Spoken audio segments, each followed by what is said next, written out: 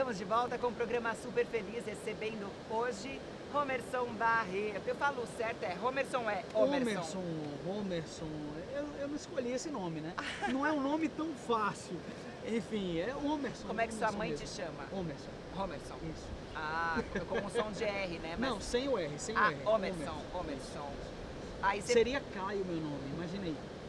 Olha só. foi pra Homerson. Eu pergunto a meu pai, ele fica rindo de mim. Homerson, você tem irmãos também, Tem uma irmã né? Uma só. irmã. Isso. Ah, chama é verdade, Emily. você falou. Isso. E ela, ela tá morando no Brasil? Tá Ela morando mora no Brasil. Ela acabou de fazer uma turnê nos Estados Unidos com a banda dela, chama-se Olha. Far From Alaska. Vai tocar agora, é bem, bem legal o nome. É. Vai tocar num festival em Cannes, na Europa. Eles são, é, fazem heavy metal. também. Isso, mas é muito boa a banda. É bem legal. bacana, bem bacana Olha, mesmo. eu fico curiosa porque seus pais, eles é, incentivaram vocês a irem para sempre, esse sempre, musical? sempre, sempre.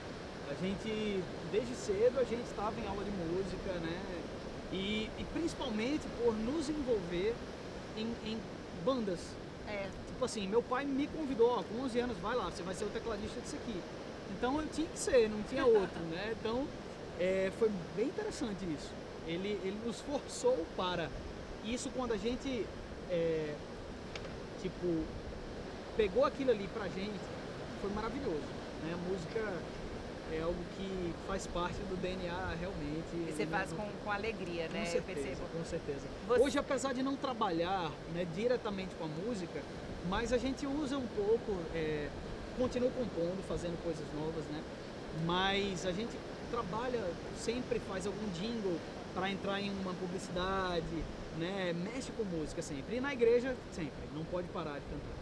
E, e o pessoal te pergunta muito se você Sempre. pretende voltar, quando é que vem um novo CD. Sempre. Nós mesmos queremos sempre, saber, não é? sempre, sempre, sempre. Como é que é esse eu tenho, esse eu tenho muita vontade, É. tenho muita vontade, mas eu preciso realmente planejar bem a, a minha vida, assim. Para você fazer um CD hoje, você tem que estar disposto a você sair para divulgar, você tem que é, voltar a viajar bastante. Né? O ano passado eu estava indo muito a São Paulo, praticamente toda semana eu estava dirigindo um programa na Rede Brasil. Então eu ia sempre para lá, mas é uma, é uma rotina que é muito desgastante. Né? Então agora com a fininha e tudo, acho É. que ela precisa crescer um pouquinho, ficar com um ano, um ano e pouco, mas realmente é algo que está em meu coração. A gente já tem feito bastante músicas assim, Legal. é, já tem umas 30 e pouco Cara, que selecionar um depois. CD. É. verdade, é verdade. Mas é sempre bom assim. É, É, um- né? é uma das coisas mais difíceis na hora de fazer o CD. Imagino, É a escolher o seleção. Seleção das Dentro do é seu, do- dos trabalhos que você já lançou, Sim. existem aquelas músicas que você fala, cara, se eu tivesse que fazer de novo, essa, aqui, essa música seria completamente diferente. Ah, eu acho que. Acho que teria. É, Principalmente em produção. entendi. Eu gosto muito de, de, de mexer com os instrumentos. Eu gosto muito de colocar isso aqui no lugar. Não, isso aqui vai, esse riff da guitarra não vai ficar aqui, vai ficar em outro momento. Então eu até mudar a roupagem, eu gosto muito disso.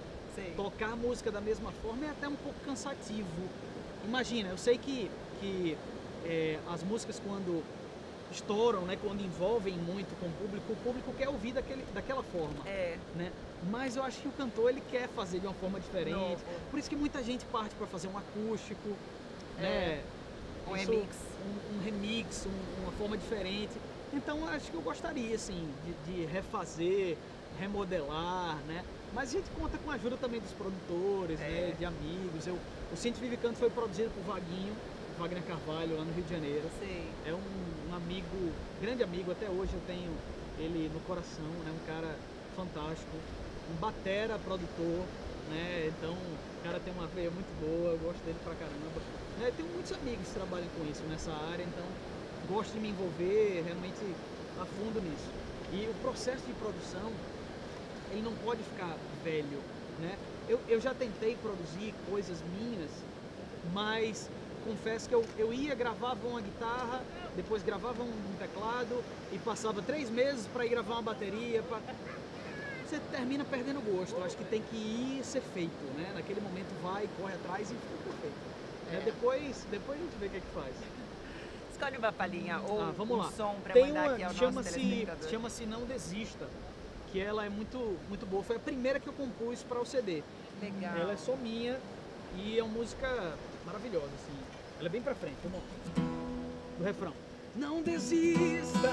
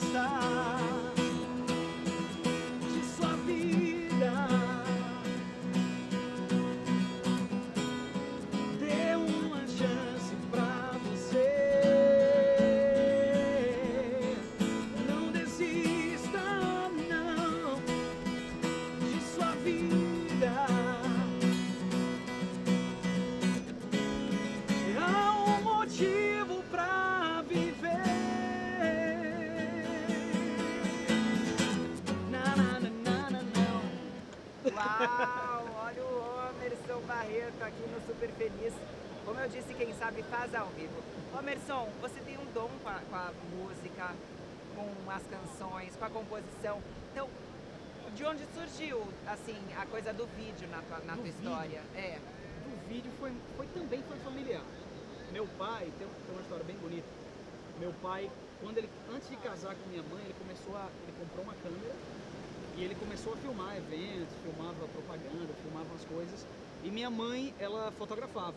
Os dois faziam uma dupla bem, bem bacana Olha nisso só. aí, né? E quando eu nasci, eles continuaram trabalhando com isso, mas foi por um período pequeno. Até eu acho que uns 5, 6 anos de idade, até que eles montaram outras coisas, né? principalmente o buffet, que tomou muito tempo disso. Mas veio daí, eu acho que eu cresci com isso, com equipamentos perto de mim, então a gente pegava lá uma câmera, começava a brincar com isso, né? Mas depois que eu retornei a Natal, eu comecei a voltei a trabalhar com meu pai na, na fazenda principalmente, camarão, tudo. Mas eu sentia muita falta do lado artístico principalmente, de estar fazendo algumas coisas criativas e decidi abrir a produtora. né? E foi muito bom, assim, foi muito rápido que as coisas aconteceram, né?